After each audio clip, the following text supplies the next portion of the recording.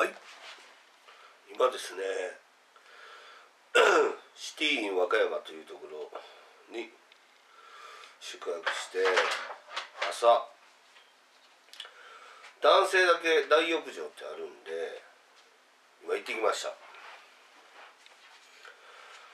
カメラ持っていくか否か悩んでたんですけどまあ持っていかず朝風呂に行ったわけなんですけどパッて入ったらですね女性がドライヤーをバーッて当ててるんですよ。あっと思ってすぐ風呂場からはけたんですね。あっちも「あっ」っていう声が最後聞こえたんですけど「ん?」って外に出て男風呂しか大浴場ないって聞いてあったから俺俺間違ってないの？か思ってまた恐る恐るそのあれやったら。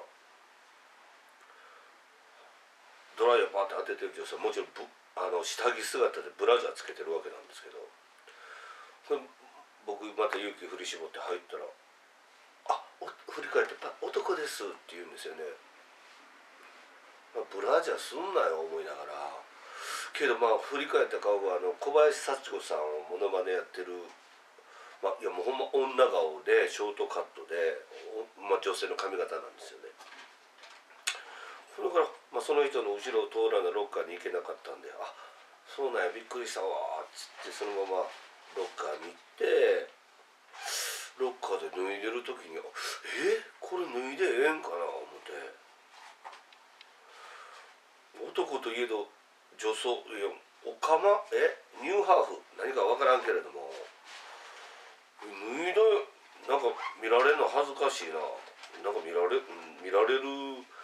じろじろ見られるんちゃうかって簡単に思って。生まれて初めてちょっとタオルで隠して風呂に入りました。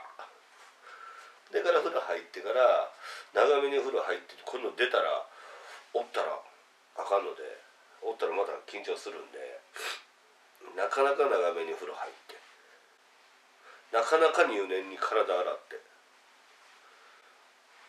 出たらいませんでした。残念。ほな。